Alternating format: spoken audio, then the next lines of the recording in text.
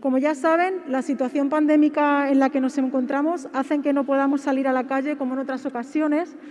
Sin embargo, no vamos a dejar de reivindicar los derechos de las mujeres y la igualdad real entre mujeres y hombres. Esta pandemia ha supuesto que muchas personas tuviesen que comenzar a teletrabajar y principalmente en el caso de las mujeres había una doble carga de trabajo al tener que repartirse en el mismo espacio y tiempo sus tareas laborales y la atención a sus hijos que estaban en la teleescuela. También la mayoría de las personas que han perdido su trabajo durante el confinamiento son mujeres. Y ahora tenemos que decir un no rotundo, no a invisibilizar el hecho de ser mujer. Que la historia no las va a recordar, pero que han hecho historia.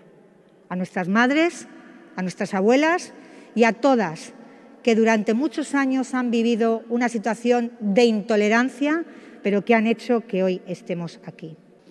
Soy feminista porque creo en la igualdad. Soy feminista porque creo en la libertad.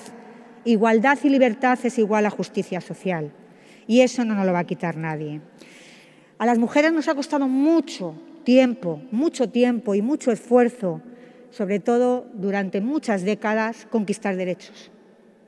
Esos derechos ahora no se pueden mermar, porque no somos un colectivo, somos la mitad de la población.